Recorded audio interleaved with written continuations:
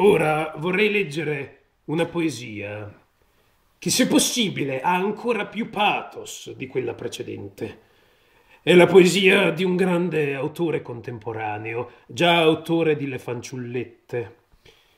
Non so se sono all'altezza di recitare una poesia così grande, così geniale, questo capolavoro, che merita solo il più grande rispetto.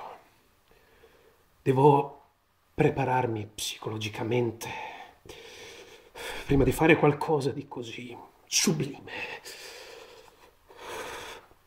La poesia si intitola Gentiluomo con bombetta.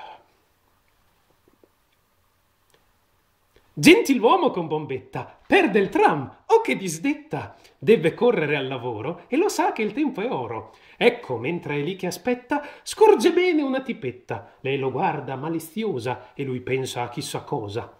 Forte delle sue ricchezze, ma ancor più della sua voglia, egli agisce astutamente e vuol prender questa donna, perché sì ne avea fattezze, era figa grandemente. Gentiluomo con bombetta, vuol scopare la fighetta. Questo è il chiaro risultato dell'enigma che ho illustrato s'avvicina alla graziosa ragazzetta e la prende per la tetta. Vien con me, brutta troietta, e poi aggiunge, senza offesa chiaramente, d'altra parte, gentiluomo non per niente.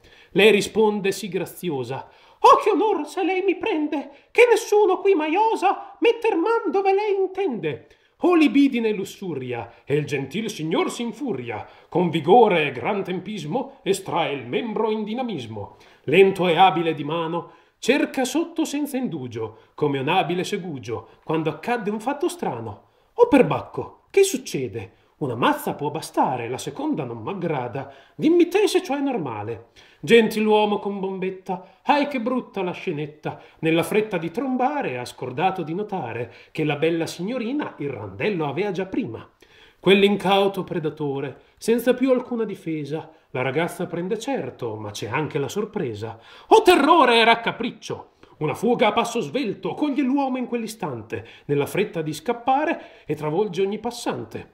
D'ora in poi, mio bel signore, prova a fare più attenzione e se perdi la corriera prendi un taxi, che di certo costa caro, ma il cul sano lo mantieni e assai val più del denaro.